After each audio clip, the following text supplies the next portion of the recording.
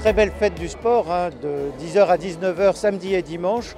Il y a plus de 40 disciplines sportives qui sont proposées. On peut venir essayer toutes sortes de sports, des sports qu'on connaît bien, puis d'autres qu'on va venir ici découvrir. C'est vraiment la fête de tous les sports. Il y a plus de finalement 70 clubs de toute l'agglomération. On attend beaucoup, beaucoup de visiteurs. L'année dernière, c'était 5000 visiteurs qui étaient venus euh, sur deux jours. Et on attend évidemment autant de monde cette année encore. La marraine, c'est Frédéric Jossinet, qui a été vice-championne olympique aux Jeux d'Athènes en 2004. Et c'est pour nous très important de véhiculer ces valeurs.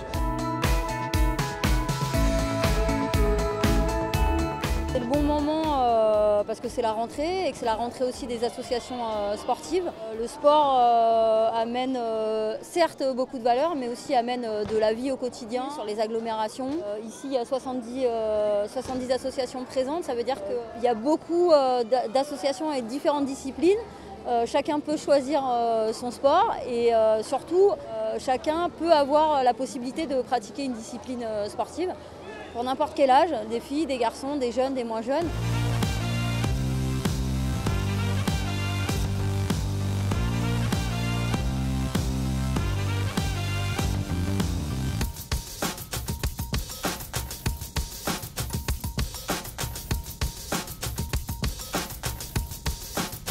C'est vraiment un lieu idéal. D'abord, c'est un très beau lieu. Et ensuite, toutes les disciplines de la CASO sont représentées. Pour les parents, c'est vraiment une mine d'or. Et puis pour les enfants, ils peuvent essayer tous les sports. Moi, je trouve que c'est une très très belle initiative.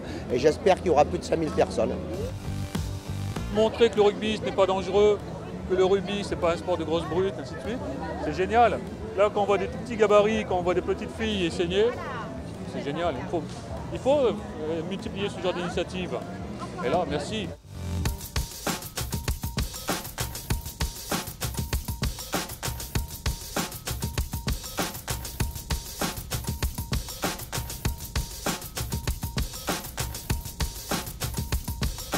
Tu découvres des sports sans payer et en plus euh, c'est gratuit et tu t'amuses beaucoup. Donc euh, c'est vraiment bien. Ça nous permet d'apprendre aux jeunes aussi bien qu'aux plus âgés euh, ce qu'on fait, ce qui nous passionne, tout ce qu'on a appris. J'adore leur apprendre ce que moi j'ai appris, tout doucement, de leur montrer beaucoup de patience, mais c'est le truc magique quoi.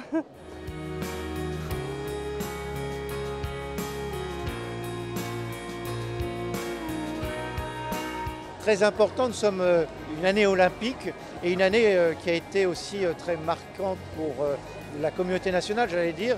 Et les valeurs de l'olympisme, les valeurs du sport sont très présentes dans cette édition 2016. L'engagement de 150 bénévoles qui vont être présents aussi tout au long de cette fête du sport pendant tout ce week-end pour pouvoir dire tout simplement, bien ensemble, partageons des choses, rassemblons-nous, les valeurs de l'effort, de la compétition et aussi du partage. C'est tout cela aussi la fête du sport.